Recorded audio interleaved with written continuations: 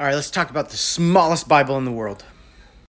First of all, I talk about the Apocrypha a lot in my videos. I enjoy the Apocrypha. I feel well grounded in the 66 book canon, and I know how to test scripture, which is a very lost art. Um, not boasting, just saying they don't teach it, and it took me a really long time to figure out how to do it. Um, so I do spend a lot of time in the Apocrypha, but not to be saved. Let me explain people say, oh, well, why are you even reading the Apocrypha? You don't need it to be saved. And I agree, you don't. In fact, my smallest Bible in the world, two books that you need to read to be saved, in my opinion, Deuteronomy and Matthew. You don't even need the rest of the Bible. Those are the only two books out of the entire Bible you need. Between those two books, you have every single thing you need. Unless you're a Paulian, then apparently you need Paul's letters or you're not saved but we can save that conversation for another time.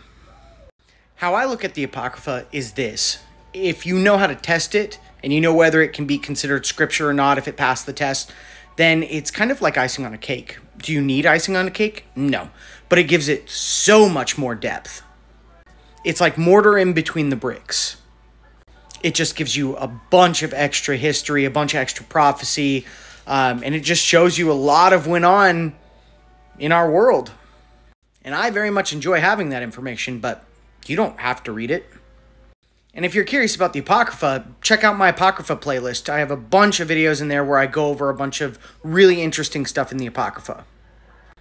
But no, you do not need it to be saved.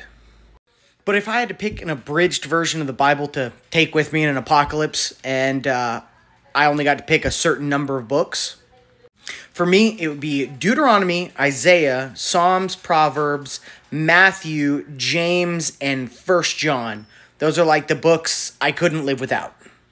And then if I had to pick two in the Apocrypha to add on to that, it would be Enoch and Second Esdras.